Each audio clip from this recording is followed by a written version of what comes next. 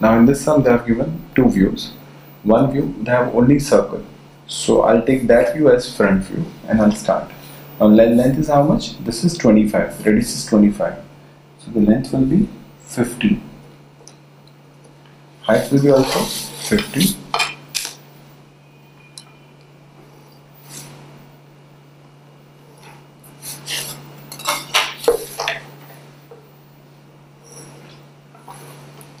If I draw, if I write over here, then 45 will be on this side.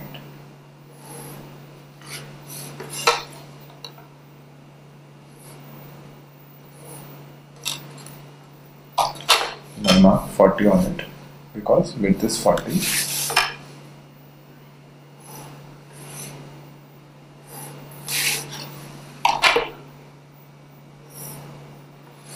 Now if you see circle, it is divided into two parts with this dark line. That means this lower half is in front and the upper half is behind. So first we will take measurement of this.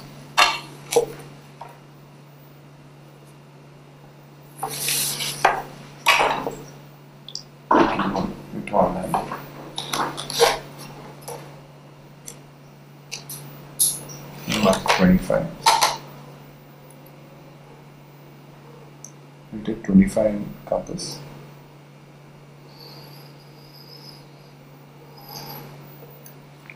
and inside one is 15 so we will take 15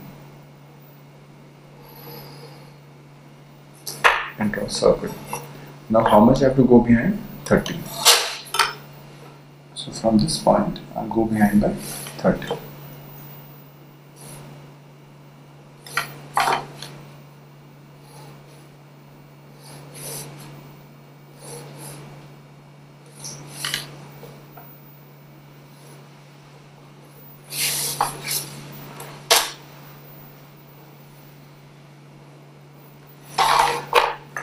right.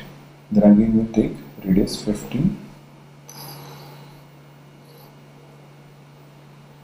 and 25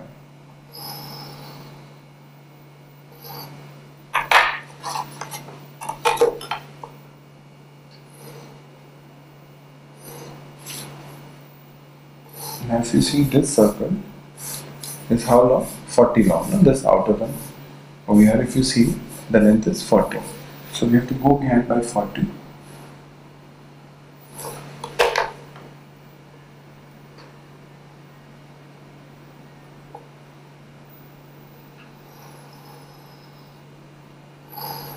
Draw the circle and draw tangent. Now in this case we have to show a smaller circle as well. If you see this, the smaller circle is through and through, right? So what we will do, we will take this radius, we will go 40 behind, we will draw this